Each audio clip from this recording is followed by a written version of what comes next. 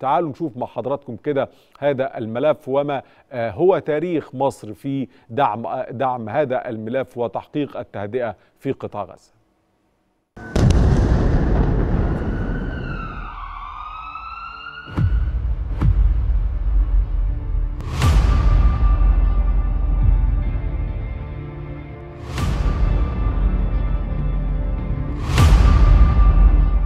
يتخذ التاريخ في غزة شكل الهدنة المنهية للتصعيد لإنقاذ الأرواح البريئة من النيران. ففلسطين تؤرخ أيامها ومعها لو حدقت جيدا. ستجد أن مصر طلل شاهد دوما ما تشب عن الطوق. إن على المجتمع الدولي تفعيل التزامه بتحقيق السلام الذي طال انتظاره. لتوقف فوهة المدافع والصواريخ. مصر البارعة بدبلوماسيتها. هي الأساس للمعادلة الإقليمية. فمن يرتكن لمصر لا يضام ولا يلين جانبه أبدا. دورنا إيجابي جدا جدا من خلال اتصالاتنا مع الفلسطينيين والإسرائيليين.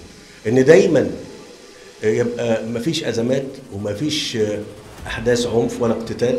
كعهدها لم تقف مصر مكتوفة الأيدي. وطوقت يديها لتحتضن أشقائها باتصالاتها مع كافة الأطراف للوصول لاتفاق لوقف إطلاق النار وإنهاء التصعيد.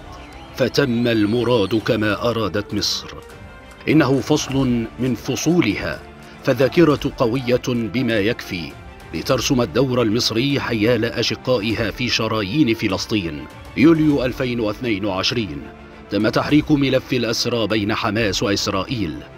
مايو 2022 نجحت الوساطة المصرية في تحييد قطاع غزة عن أحداث الضفة الغربية والقدس الشرقية في إبريل 2022 وساطة مصرية لمنع التصعيد بعيد اقتحام القوات الإسرائيلية للمسجد الأقصى. القضية الفلسطينية هي قضية مصر المركزية بنضال الفلسطينيين في دولتهم المستقلة. لا تنسى أشقائها بإعادة الحياة والإعمار. تبني وتبني وتبني. ليكون لسان أشقائها الفلسطينيين كم كشكر الروض للسحب فمصر الهدى والندى في حاضر الوقت وفي العقب. من مصر محمد عبد العال.